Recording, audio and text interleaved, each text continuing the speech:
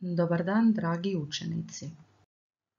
Dobrodošli u video lekciju iz hrvatskog jezika za četvrti razred srednje škole. U okviru teme u zoopolisu u današnjoj ćemo video lekciji obrađivati kontekst i poetiku Ranka Marinkovića. Danas ćete izražavati svoj literarni doživljaj teksta. Analizirat ćete književni tekst s obzirom na povijesni, društveni i kulturni kontekst. Objašnjavat ćete tekst iz perspektive poetike i književno-povijesne epohe. I uspoređivat ćete tekstove hrvatske književnosti s tekstovima svjetske književnosti u književno-povijesnome kontekstu. Promotrite fotografiju.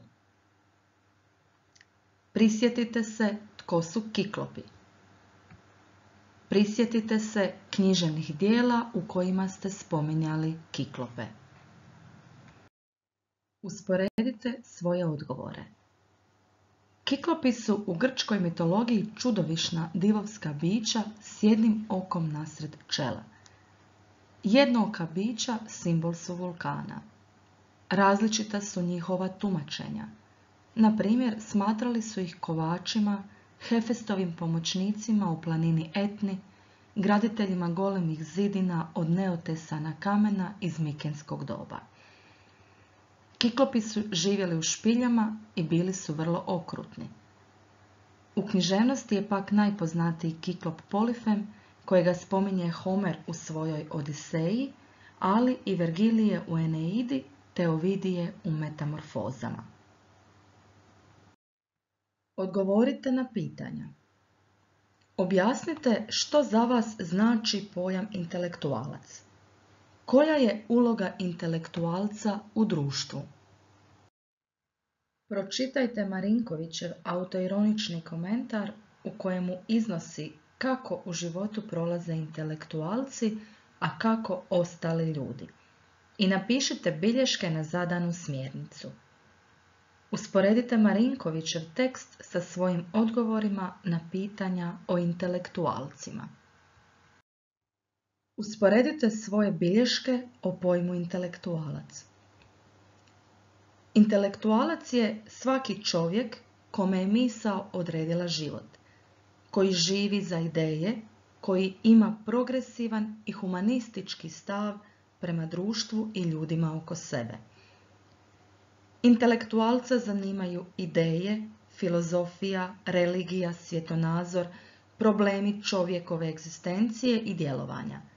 Zanima ga kultura, znanost, umjetnost, civilizacija. Intelektualca zanima kritički odnos prema društvenoj zajednici, te svojim stavovima i razvojem ideja pridonosi razvoju društva. Marinković u tekstu govori o intelektualcu koji je genij, koji mijenja svijet svojim idejama, stavovima i zapisanim mislima. Da nema intelektualaca, društvo bi bilo neinteligentno, isprazno i bezvrijedno. Istražite na mrežnim stranicama biografski portret Ranka Marinkovića. Usporedite sa svojim bilješkama o biografskom portretu Ranka Marinkovića. Ranko Marinković rođen je na Visu 1913. godine. Na Visu je završio osnovnu školu i prva četiri razreda gimnazije. U Zagrebu je završio državnu učiteljsku školu i pedagogijsku grupu nauka na Filozofskom fakultetu. Svojim prvim književnim radovima pojavio se kao srednjoškolac, a nastavio je pisati i kao student. U časopisima je objavljivao eseje, te je bio kazališni kritičar i recenzent. Ranko Marinković strahote drugog svjetskog rata iskusio je na vlastitoj koži zatvoren u logoru.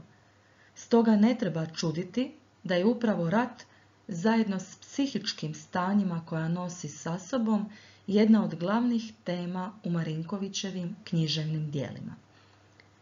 Temu intelektualca u ratnim uvjetima, odnosno temu čovjeka kojemu su oduzeli slobodu, Marinković je postavio u središte romana Kiklop. Pročitajte izjavu o Ranku Marinkoviću, književnog znanstvenika Ive Frangeša, te istražite i grafički prikažite Marinkovićev stvaralački opus. Usporedite sa svojim bilješkama o stvaralačkom opusu Ranka Marinkovića. Ranko Marinković bio je direktor drame Hrvatskog narodnog kazališta. Radio je kao profesor dramaturgije na Akademiji za kazališnu umjetnost. Prva pjesma koju je Marinković napisao naziva se More. Prva drama koju je napisao naziva se Albatros. Na poziv Miroslava Krleže Marinković je objavio u časopisu Pečat tri prozna teksta, a prvi od njih fragment je naziva Hiljadu i jedna smrt. Prva objavljena Marinkovićeva knjiga naziva se Proze. U toj knjizi objavio je prozne tekstove tematikom vezane za rodni otok, takozvane viški fragmenti. Marinković je napisao novelističke zbirke Ruke, pod balkonima, poniženje Sokrata. Drame Albatros, Gloria, Politeja ili inspektorove spletke, Pustinja. Kazališne i filmske kritike pod nazivom Geste i grimase. Te eseje, dijaloge i portrete ujedinjene pod naslovom Nevesele oči klauna. Romani koje je napisao Marinković nazivaju se Kiklop, Zajednička kupka i Nevermore. Posljednji Marinkovićev roman Nevermore simbolična je naslova. Marinković se u svojim romanima pokazao kao analitik i satirik, te kao književnik koji zastupa tezu o umjetnosti kao jedinome prostoru čovjekove slobode. Pročitajte ulomak iz intervjua s Marinkovićem te komentirajte Marinkovićevu motivaciju za pisanje romana Kiklop. Usporedite svoje bilješke. Marinković je svoj roman Kiklop počeo pisati bez intencije da napiše roman. Ujedinjavajući motive koji su mu padali na pamet i već napisane prozne fragmente u jednu veću cjelinu, zamislio je jednookog diva, te je, misleći da je ostao dužan sebi za sve one strahote, za sve strepnje i užas koji je sam proživljavao uoči i za vrijeme rata, nastao roman Kiklop. Marinković je temu straha uklopio na način da strah guši svaku slobodnu misao i tjera čovjeka odustati od svega, čime gubi svako dostojanstvo i sveden je na jedinku kojoj je temeljni cilj preživljavanje. U znaku vage početak je kiklopa. Vaga kao simbol pravde omogućila je Marinkoviću prikazivanje umjetnosti kao jedinog prostora čovjekove slobode, slobode u okovima. Pročitajte ulomak iz romana Kiklop i odgovorite na smjernice. Komentirajte kako ste doživjeli dijalog. Objasnite Marinkovićev prikaz straha kao jednog od temeljnih ljudskih osjećaja. Opišite suprotstavljeni odnos prema svijetu iz perspektiva dvaju likova. Usporedite sa svojim bilješkama. Kako ste doživjeli dijalog? Kiklopski svijet modernog čovjeka određen je trima glavnim značajkama. Ljubavlju, smrću i strahom.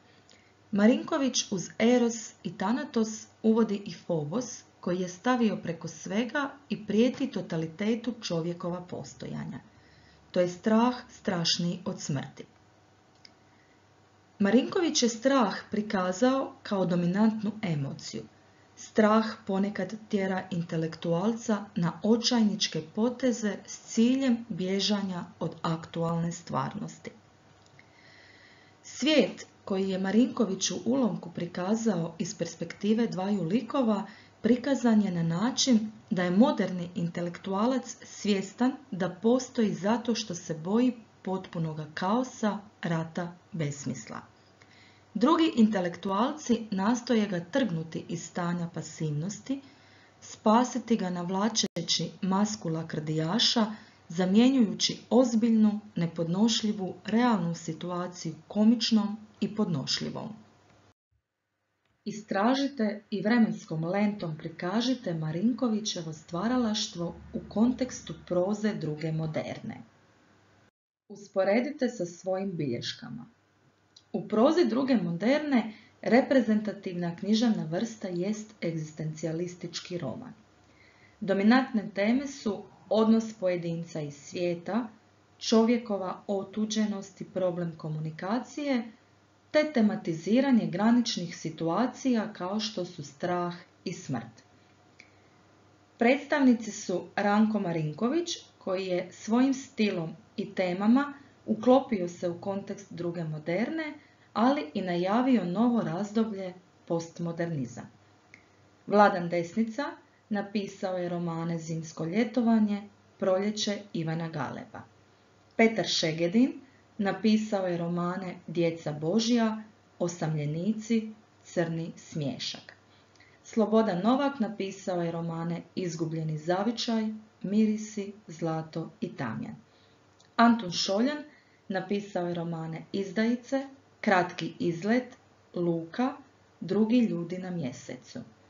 Te Ivan Slavnik koji je napisao roman Bolja polovica hrabrosti. Istražite kakav je današnji status Ranka Marinkovića u hrvatskoj čitateljskoj kulturi. Usporedite sa svojim bilješkama. U Visu je 2008. godine osnovana memorialna zbirka Ranko Marinković kako bi se u rodnom gradu ovoga književnika očuvala uspomena na njegovo životno djelo. Zbirka nastoji prikupiti što više artefakata vezanih uz Ranka Marinkovića, izdanja njegovih knjiga, tekstova koji su o njemu napisani, predmeta, fotografija, audio i video snimki, plakata i sl. Zbirka je organizator manifestacije Marinković nas spaja, koja je od 2016. godine okupila učenike srednjih škola iz različitih hrvatskih sredina na otoku Visu, a tom se prigodom održavaju i brojna druga književna događanja. 2019. godine tema je bio upravo roman Kiklo. Kako je to izgledalo možete doznati više na navedenoj poveznici. Zaključimo osnovne informacije o Ranku Marinkoviću. Ranko Marinković rodio je se na otoku Visu 1913. godine, a umro je u Zagrebu 2001. godine. Stvarao je u razdoblju druge moderne, koja traje od 1952. godine do 1969. godine. Marinković je bio književnik, ravnatelj drame Hrvatskog narodnog kazališta i profesor dramaturgije.